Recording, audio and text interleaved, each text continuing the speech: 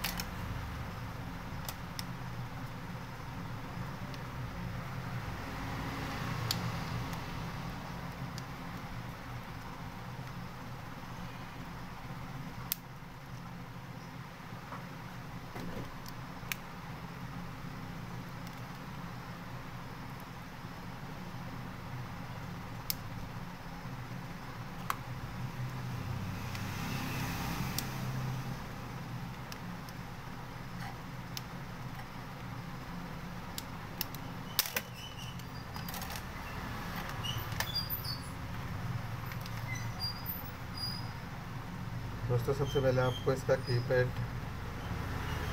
के जो अंदर के बटन होते हैं, ये आपको बाहर मदरबोर्ड से अलग करना है।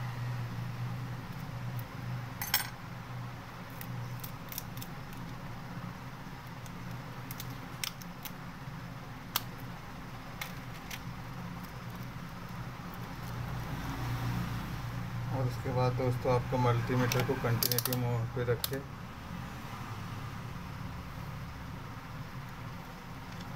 इसमें सप्लाई चेक करनी है दोस्तों। ये देखिए दोस्तों सप्लाई तो प्रॉपर आ रही है इसमें।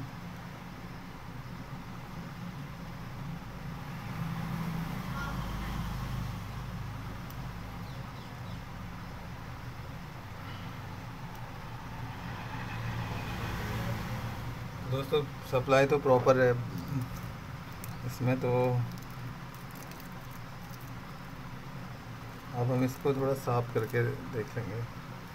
इसको आप हल्का सा थीनर से दोस्तों थीनर मार के इसमें कपड़ा से साफ़ कर लीजिए।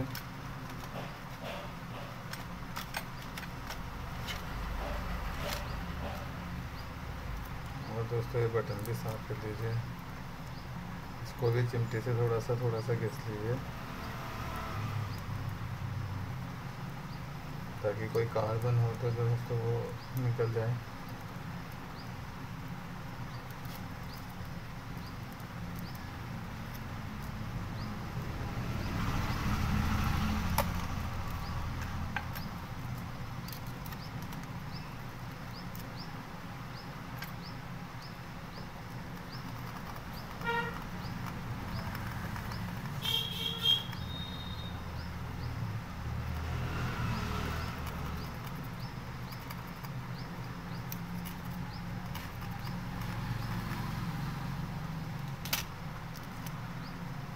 तो दोस्तों अभी हमने सफ़ाई कर ली है इसकी और आप फिर इसको अच्छे से बैठा दीजिए।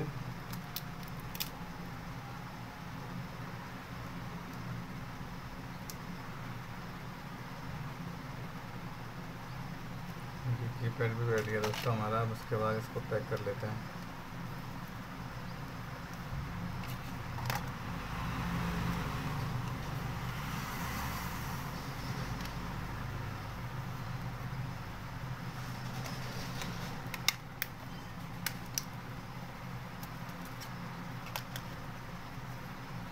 तो अब चेक कर लेते हैं इसको।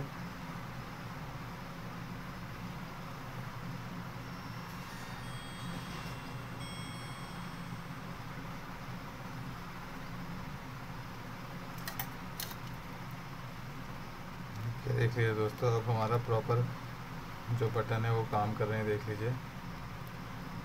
ये अप बटन है, ये बैक डाउन बटन है, ये मेन्यू बटन है। देख लीजिए दोस्तों वन